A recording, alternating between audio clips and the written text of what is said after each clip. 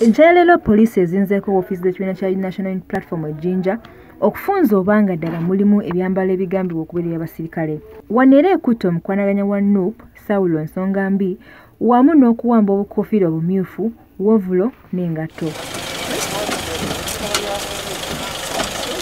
Poliisi oluvudde ku ofiisi za nup yeeyongedde mu bifo ebyenjawulo awatundirwa ebintu ebiriko kabonero k'ekibiina kino era nga babadde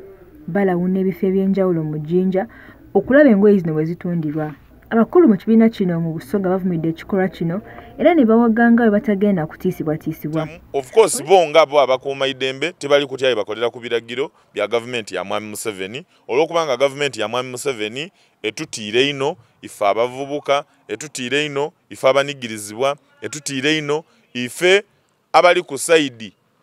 ey'abangi abatafunye mu gavumenti ya mwami museveni. Poliisi tesobodde kubaako kyegamba ku bikwekweto ebikoleddwa ng'egamba egenda kuvaayo na lipoota ey'awamu